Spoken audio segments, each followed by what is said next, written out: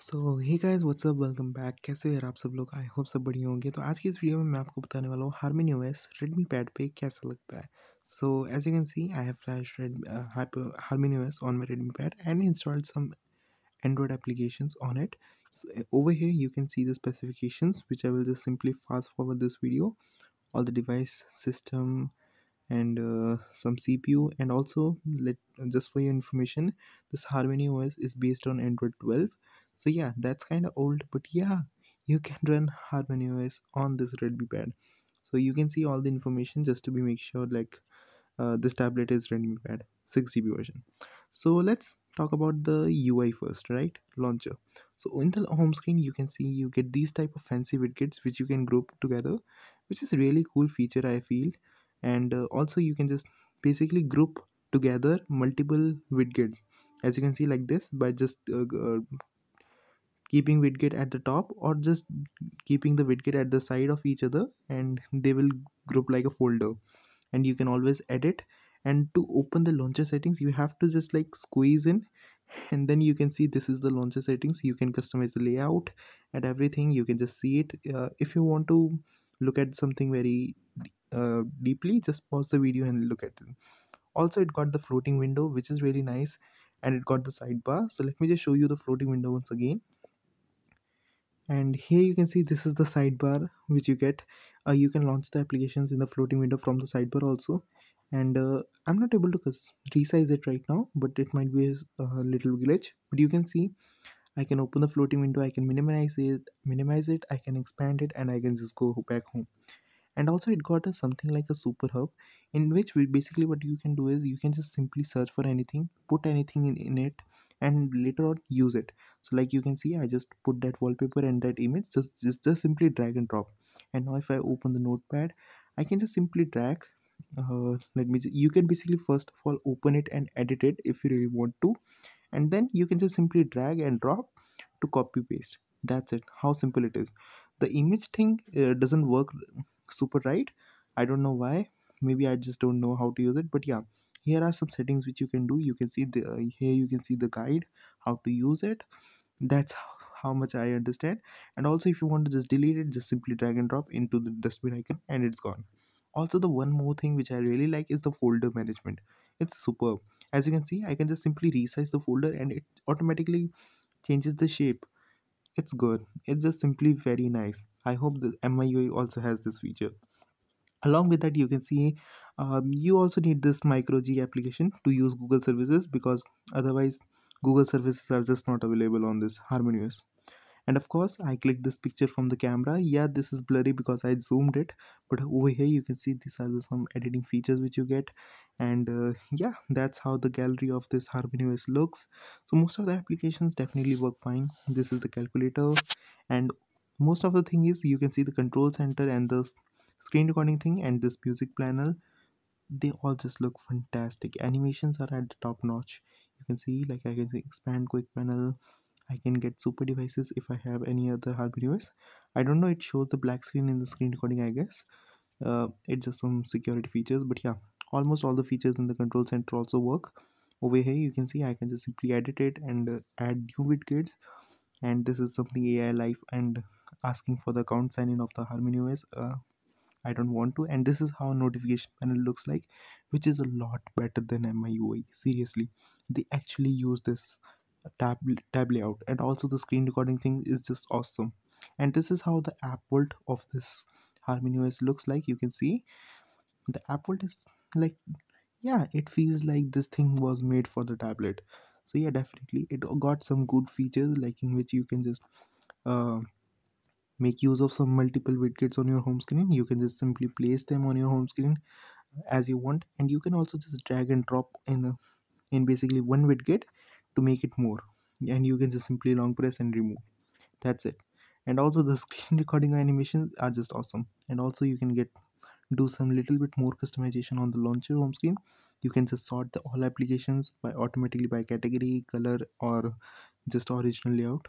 These are some really quick options to sort your all applications which is appreciated actually. And yeah these are the wallpaper but here i see the bug. It doesn't run in the landscape mode and yeah that's how almost how this HarmonyOS looks like. Also everything almost works apart from the little bug in the brightness. Like sometimes brightness doesn't work and also you get this navigation dock at the side which you can use to go back just like a copy of uh, apple. And also android applications runs fine on it. So yeah that's was all about the ui stuff.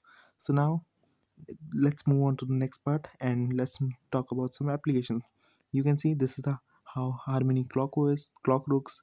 This is how the calendar application look of the harmony os and these all are just apk which can run on any android.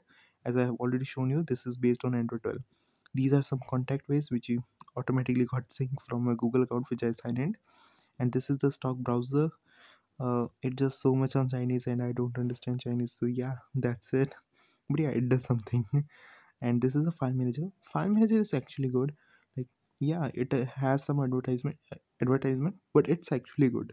Like it is not like a file manager which lacks features. It has almost all features. You will not need any external file manager if if you have this. This is the themes applications which is again uh, is very good. This is recorder and this is the huawei app gallery which is almost like a copy of the play store.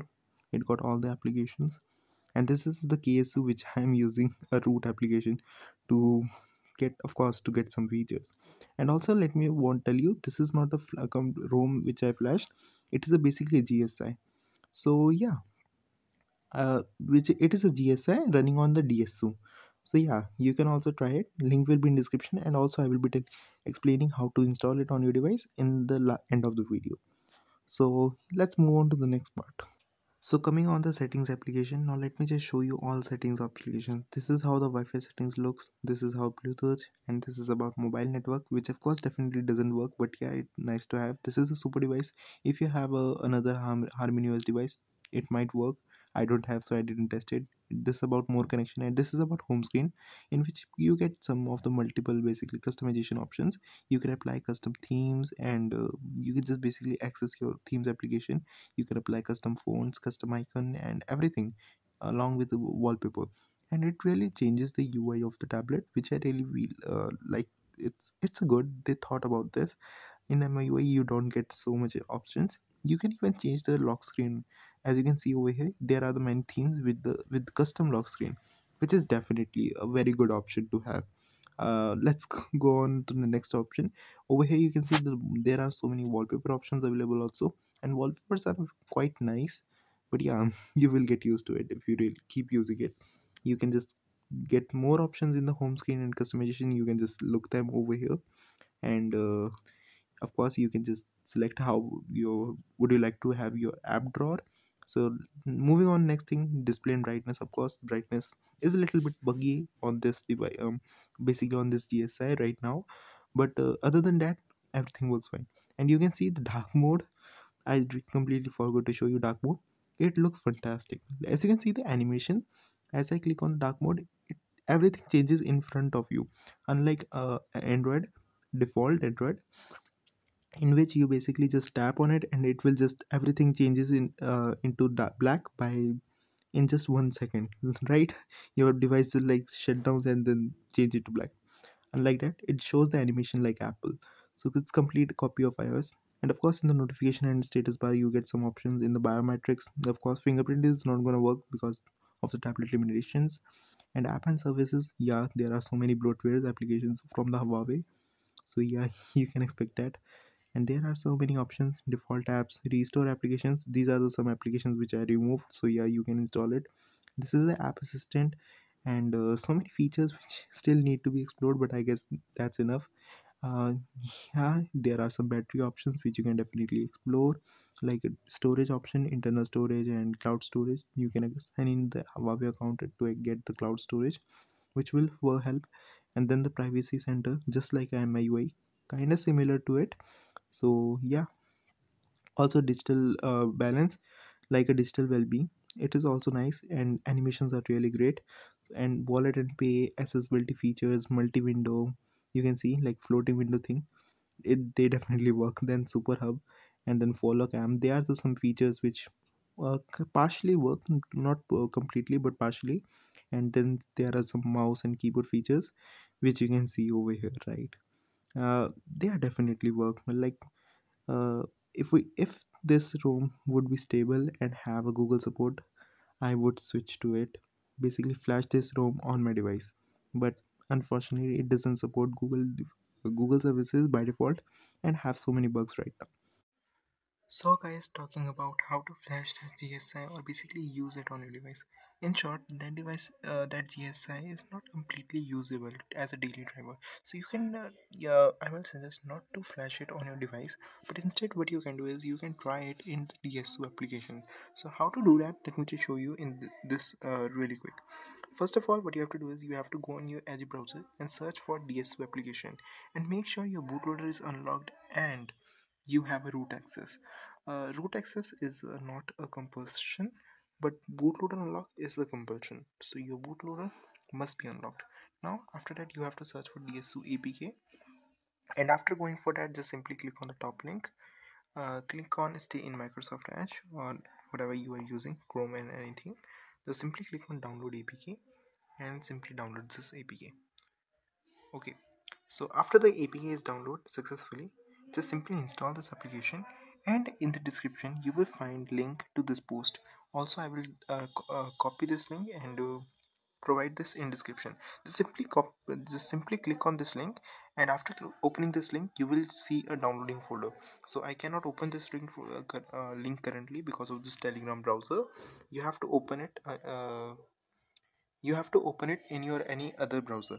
So definitely after opening it you just have to download this basically zip file.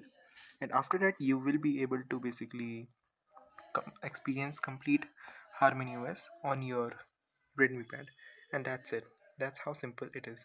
Uh, some people also manage to boot it on the MI pad also. So over here you can see he this person just tried this uh, GSI on MI pad also and he was also able to successfully boot it on MI pad. So if you have any other device definitely you can try it booting on this. But uh, yeah that's it how you get Harmony OS on your Redmi pad and can flash it successfully. And also let me just show you how to set up DSU application. So first of all after you install the app DSU application just uh, open your KSU manager or anything which you use right? If you have a Magisk just open it and grant it the super user permission. So let me just search for the DSU and simply select it and click on super user permission and grant it. After that you have just have to open your DSU application. If you are uh, using Magisk just open DSU application and pop-up will open. Just simply select grant. After that it will ask to set up the storage. Just simply select any storage like I select MIUI folder use this folder allow and that's it. After this it shows your bootloader should be unlocked. Just simply click on proceed and after that you have this page. Uh, just simply click on the select file and select that GSI file which you just downloaded from the link given in description right? After that selecting that you can uh, select this user data size. Uh, as you can see, saw I have uh, I just granted 36 GB basically that's the maximum I, I could basically give 36 GB so I just grant 36 GB to Harmony OS and that that's and that was what my storage in GSI so this is a storage thing in your GSI so just granted the storage permission which you really want.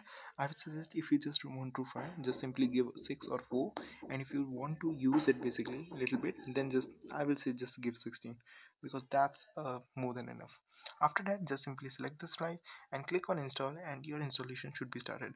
And I will uh, suggest you always click on the settings icon at the top right corner and make sure your operation mode is root. Sometimes even after granting the root permission operation mode is ADB ADB so in the end you have to just redo all the steps. And if you see the ADB over here even after having root what you have to do is you have to just simply go back click on the app info and just clear data once and that's it. Your issue will be fixed